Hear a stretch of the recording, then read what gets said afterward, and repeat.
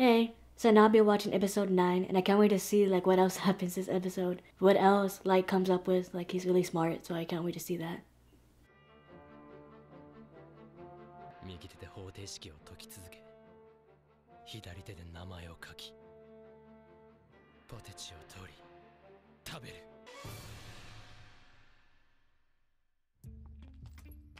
絶対だなリュークああ絶対に尾行はついてない早くしてくれ禁断症状が。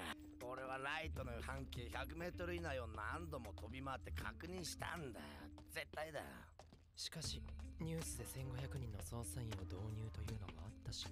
本当ならこっそり入れるはずと言ってたじゃないか。Me without Cheetos.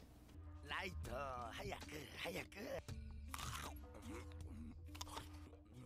しかし死神使い荒いじゃんお前本当にしまいには俺のデスノートに名前書いて殺すぞ。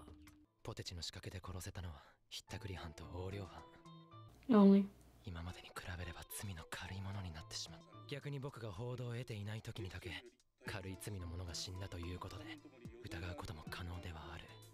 そして外に出た時のために罪の重さにかかわらずニュース等で報道された者の名前を覚えておきこれで監視カメラ対策は完璧だ結論から言わせてもらいます。北村家八神家の中で怪しい者はいません。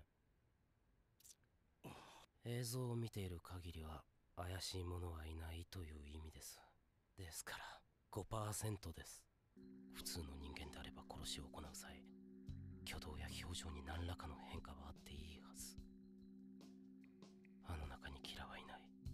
そう考えるのが普通だろう。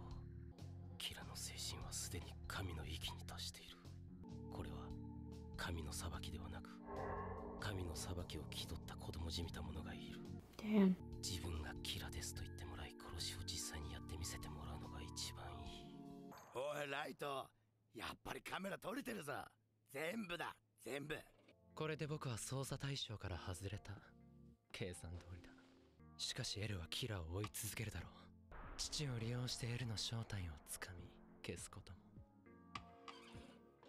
エルさえ消キラは新世界の神にまた一歩近づくまったく大げさだな行ってきます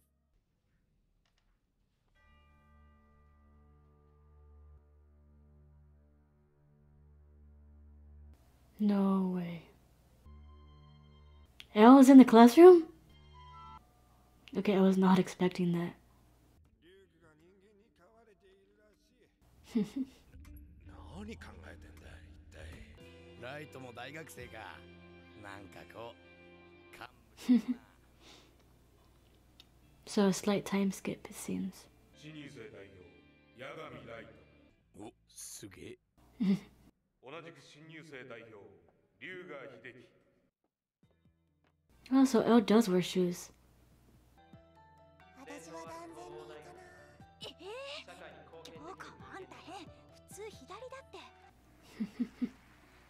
しかしあの二人対照的だな。一人はいかにも温室育ちの秀才って感じだがもう片方は野生的というか相当るな。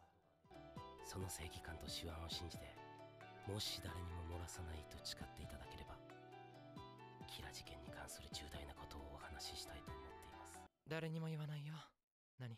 私はエルです。Why would he tell him that? まさか。こいつがもし L だとしたら大したもんだな。僕に対し自分がエルだと言ったこいつが死んだら真っ先に僕に疑いがかかる。こいつを殺そうとデスノートに名前を書きこいつの本名が龍河秀樹でなければ嫌でも頭の中に浮かぶアイドルの方の龍河が死ぬかもしれない。こいつは死なずに僕がキラだという推測が立つ。面白い入学式だったぜライトどこのボンボンだあいつ。しかも首席。嫌な感じ。Why is he a jerk? 東大生おか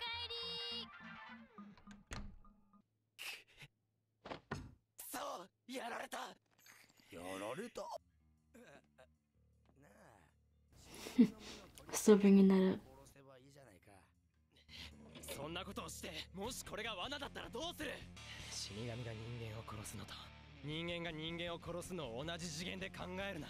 何としてもあいつを殺してやりたいが殺せば足がつく。全く不便だよ。デスノートってやつは。いつも冷静なライトが逆ギレか。相当来てるな。どんな死に方でもエルが死ねば警察を疑う。キラの可能性のある者にはエルの分身でも構わない。エルだと名乗っておく。これはエルにとってキラに対するかなり有効な防御であるとともに攻撃でもある。何も悲観することはない。これは向こうも何も掴んでいない証拠だ。あいつも僕も直に接しての騙し合い。知恵比べお前が僕に友情を求めてくるな。快く受け入れてやろう。僕はお前を信じ込ませそして全てを引き出しお前を殺す。この手で So as usual, a lot happened in this episode, just like all the others.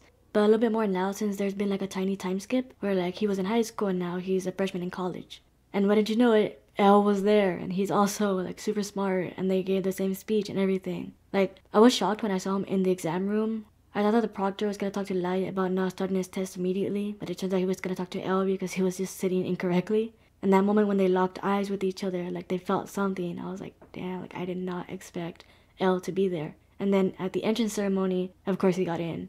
And then they say his name and everything. And then not only that, but he tells him like, oh, you know, I know who your dad is. I know who you are. I know that you helped in a bunch of cases, and I'll tell you who I am. And then like he was like, okay, I'm L. I'm like, what? Like I was just as shocked as Light was when he told him that because I was like, um, is that a smart move? But then again, it kind of was because like he said right now, he was like, you know, I can't kill him because then it'll be traced back to me. I'll be a suspect, so it's not good. And he's caught me and he's humiliated me, so I can't do it now. And even Ryuk, he's a Shinigami, a god of death, and he was shocked that Light was so angry when he's usually very calm. He was like, damn, like, it reminded me of a scene from the TV show Drake and Josh, where one of the main characters, Drake, he's like, whoa, just take it easy, man. Like that. I was like, calm down, man. It's like, easy, take it easy, like, chill. And also, like, his sister was home when he was all angry upstairs, and he was like, not shouting. Like, he wasn't like super loud, but he was in a way kind of like shouting.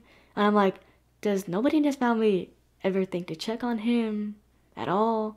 Like back in episode 1, when Light fell from his chair onto the floor, and they have a two story house. And since I also live in a two story house, I know how, like, if I were to fall from my chair right now, my mom would be downstairs, like, what was that noise? Are you okay? Like, very obviously, somebody has fallen, and you can tell because of, like, the sound. And yet, his mother in the first episode never went to check on him for that. And now, and now that Light's all shouting at Ryuk, like, I know his sister's, like, younger than him, and obviously she doesn't want to disturb him, but also, like, you know, like, oh, hey, you know, like, she could also be like, hey, Onii-chan, like, are you okay? Like, something, you know, some concern from this family. But then again, she's eating chips and watching TV, doing her own thing, doesn't want to bother him, doesn't want to get bothered, you know.